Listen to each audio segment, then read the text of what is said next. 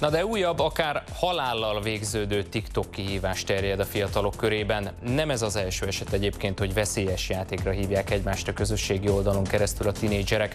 Utána jártunk, mire érdemes figyelni, és mit lehet tenni egyáltalán szülőként.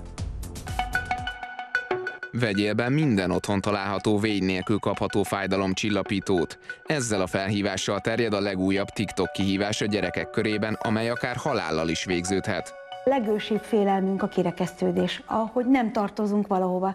És akkor, hogyha az egészet szépen körbenézzük, akkor odaérkezünk vissza, hogy valahova tartozunk, és hogy miért mennek ebbe bele a gyerekek, hogy tartozzanak, és miért csinálják még akkor is, mikor kellemetlen, mert nem akar kikerülni.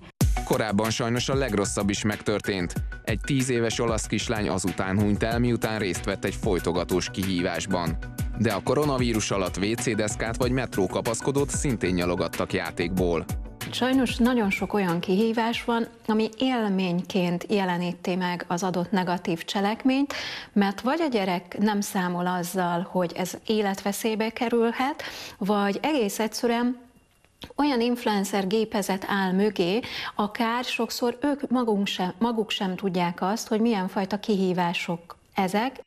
Számos pozitív kihívás is terjed, de a gyerekek még nem feltétlen tudják eldönteni, melyiknek mi lehet a következménye.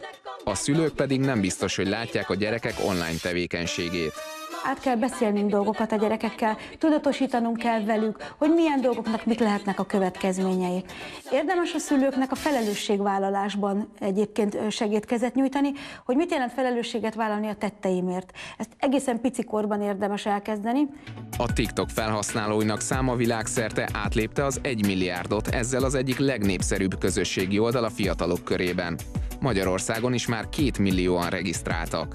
A TikTok felülete nagyon segít abban, hogy virálisan, az a szájhagyomány útján minél gyorsabban terjedjenek az információk, és akár az ilyen kihívások is, mert hogy van egy olyan ajánló felülete, ami a felkapott tartalmakat még jobban megpörgeti, még több emberhez juttatja el. Akkor érdemes odafigyelni nekünk, szülőknek, amikor azt látjuk, hogy megváltozik a gyerekünk magatartása.